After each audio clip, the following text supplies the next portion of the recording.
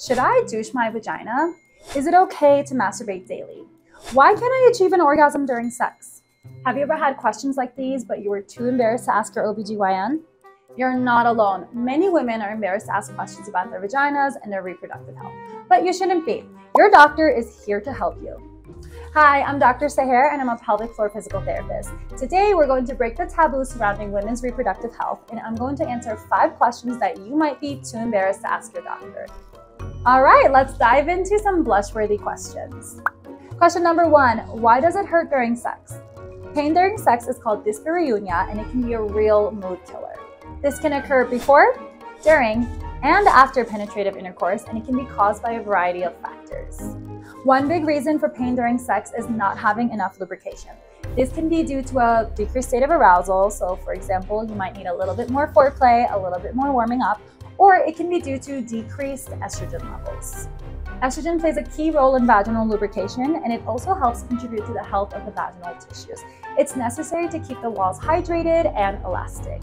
When estrogen is low, it can cause increased vaginal dryness and more friction during sex, which makes it painful. One way to combat this is to lube it up. You can use a water-based or silicone-based lubricant. However, if you're currently trying to conceive, be sure to use a semen-friendly lubricant. This is important because not all commercially available lubricants are optimal for maintaining a sperm-friendly environment. Some lubricants contain components that might be detrimental to the actual sperm and make it harder to reach the egg to fertilize it. Furthermore, some lubricants might actually disrupt the vaginal pH, thereby potentially impacting the movement and survivability of the sperm as they move through the female reproductive tract. Now, if you've actually confirmed with a healthcare provider that you do have low levels of estrogen, then using lubrication would be a very short-term solution and wouldn't actually help fix your hormone levels. Talk with your doctor about lifestyle changes you can make to increase your estrogen levels and to balance out your hormones. Hormone balance is important for all women, especially if you're trying to get pregnant. Furthermore, any previous trauma or injury to your vagina, and this can sometimes include childbirth, or any tightness and tension in the pelvic floor muscles can also cause pain during sex. So if that's the case, medical intervention or guidance from a pelvic floor physical therapist might be necessary. Question number two, is it okay to masturbate daily? There's absolutely nothing wrong with a little bit of self-love on a daily basis. And no, masturbation will not harm your reproductive system or affect your fertility. In fact, masturbation has been shown to reduce stress, help you sleep better, relieve menstrual cramps, improve your self-esteem and your overall body image. Now, those are some mighty claims about the benefits of masturbation. How exactly does it do these things? Well, masturbation is a great way to release endorphins. Endorphins are our feel-good hormones and they cause feelings of pleasure and relaxation. These endorphins plus other hormones associated with sexual arousals have an overall calming effect on the body. This causes a sense of well-being and can improve your sleep quality.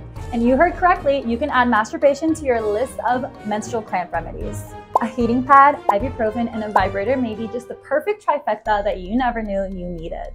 Orgasms increase blood flow to the uterus and this can alleviate your menstrual cramps and discomfort. They also release oxytocin and dopamine, which literally act like natural painkillers. And finally, exploring your body by masturbating is a great way to develop a healthier relationship with yourself. It can help you feel more confident and it's a great way to figure out what feels good so you can communicate it to your sexual partner. This can help improve foreplay and subsequently increase your chances of achieving an orgasm, which brings us to our next question. Question number three, why can't I reach an orgasm during sex? We love a good orgasm, and as amazing as they are, many women actually struggle to achieve climax during sex. This can be incredibly frustrating and maybe even put a strain on the relationship. After all, both parties are supposed to be experiencing pleasure and having fun. To be honest, there could be a bunch of reasons why you're not achieving an orgasm. This could be a whole separate video on its own. There can be some medical reasons such as low estrogen levels, especially during pregnancy, postpartum, and menopause. And there can be psychological factors such as anxiety, depression, or lack of self-confidence. If you're currently trying to conceive, you might actually get tired of having sex. It might feel like just another chore. One other big factor is during your menstrual cycle, you might experience a heightened sexual desire during ovulation because your body has a surge of estrogen. Your body is primed and ready for reproduction. However, during your luteal and follicular phase, you might experience decreased libido because your body knows that it's not prime baby making time. Now, if you have sexual desire but you're finding it difficult to reach an orgasm with your partner, then you can try masturbating like we talked about earlier. See if you can reach an orgasm on your own. That way, you can communicate it to your partner and increase your chances of achieving one together. It's important to note that an orgasm is not a requirement for getting pregnant and having a successful and healthy pregnancy. However, there is some information out there that suggests that orgasms might help you become pregnant a little bit quicker. This is because when you have an orgasm, your pelvic floor muscles contract, and this causes a pumping effect, which helps the sperm move up a little bit more effectively into the reproductive tract. Orgasms also release oxytocin, which is a happy hormone that can reduce the stress that is sometimes associated with trying to become pregnant. Also, don't be afraid to throw in some sex toys to aid in your mission of achieving the big O. Many women are unable to climax with just penetrative sex alone, so you might want to invest in a vibrator or some kind of toy to stimulate your clitoris. Just be sure not to insert random objects into your vagina. Items such as cucumbers, carrots, and bananas, as tempting as they might seem, can actually cause some infections and cause a weird discharge or smell coming from your vagina. Speaking of smell, this leads to our next question. Number four, why does my vagina smell weird? There's nothing more alarming than going into the bathroom and smelling something unfamiliar down there. And it's even worse when it's accompanied by a weird discharge.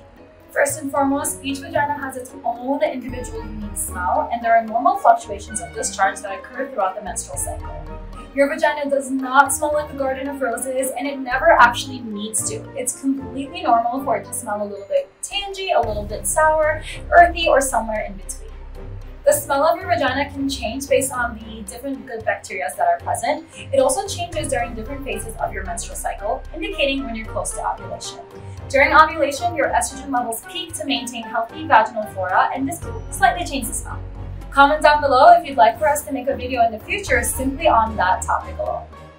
Let's also debunk the idea that eating certain foods can make your vagina smell weird or different. Food that you eat is not likely to actually affect your vaginal odor. You can't blame that bean burrito for your vagina smelling a little funny. Now, if your vagina actually does smell weird, here are some reasons why.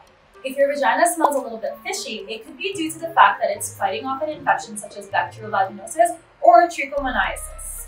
Bacterial vaginosis is one of the most common sources of abnormal discharge, smelly discharge in women, and it is usually accompanied by an off-white or gray discharge. Trichomoniasis is usually accompanied by a large amount of thin discharge that can range from a clear color to yellow or green.